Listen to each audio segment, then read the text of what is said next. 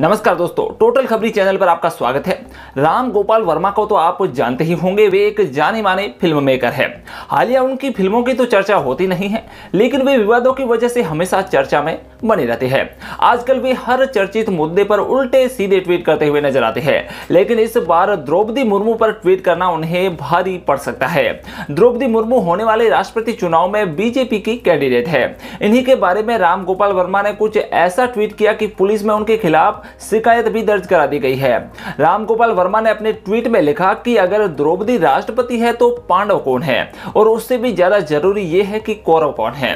उनके इस तरह से ट्वीट करने के बाद लोगों ने उन्हें निशाने पर ले लिया। सोशल मीडिया पर पब्लिक वर्मा की जमकर क्लास लगा रही है।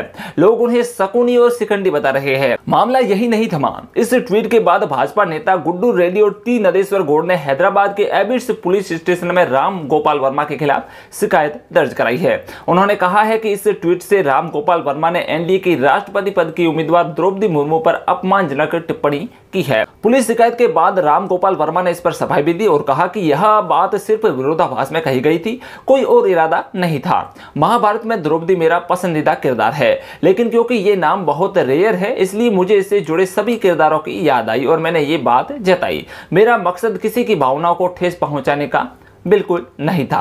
अब राम गोपाल वर्मा ने तो सफ़ाई दे दी है, लेकिन आगे क्या इन पर कार्रवाई होती है या फिर नहीं, यह आगे पता चलेगा। अब इस वीडियो को यहीं पर विराम देंगे और मिलेंगे अगले वीडियो में।